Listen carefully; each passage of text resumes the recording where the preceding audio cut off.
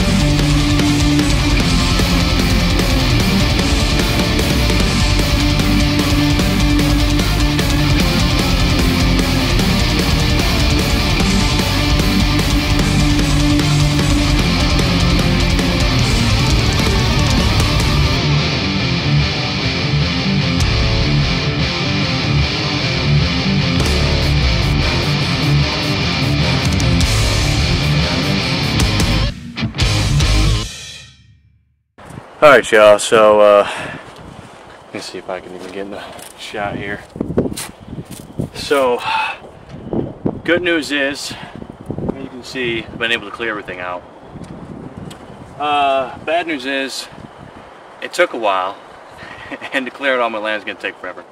Uh, another bad news I found is that a, a, good chunk of the ground is like real soft, and uh, I think what happened is they had already came through and just leveled everything once before when they built the house, and then all this kind of regrew back.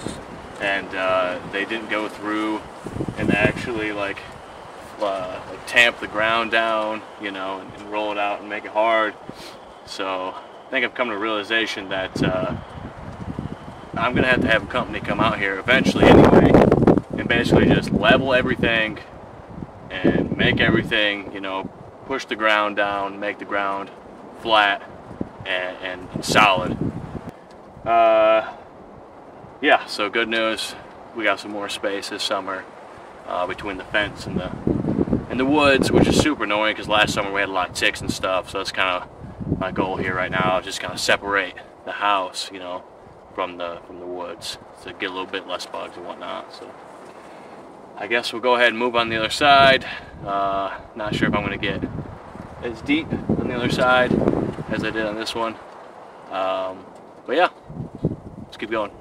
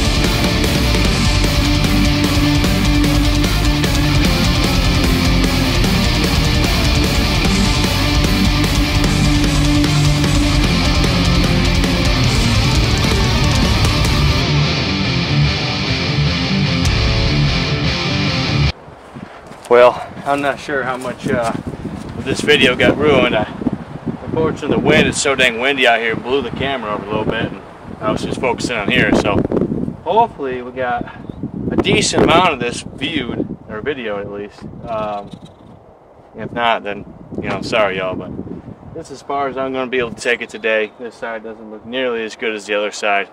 Uh, I did find my nephew's rocket. We launched this thing last summer and couldn't find it, but it was just off in the woods there. I finally found it, uh, so that's cool. But uh, yeah, we got. Uh, let's see here. Got this pile here. We got another pile way down there. You can't really see it, but uh, this side here looks much much better. I mean, this right here is basically mowable. And then, sorry if I'm making y'all super sick, but we got this pile here, and then we got a big old pile down there. You probably can't even see it, but uh, definitely going to be a part three. Um, let's kind of go through here this last little bit. Making this part mobile here. Uh, I'm going to have to get me a burn barrel or something, start burning all this crap. But yeah, that's it. Hopefully, we got some decent footage, and uh, hopefully y'all like the video. Please like, comment, share, subscribe, do all that stuff. There's going to be more time-lapse videos in the future, and I'll see y'all on the next one.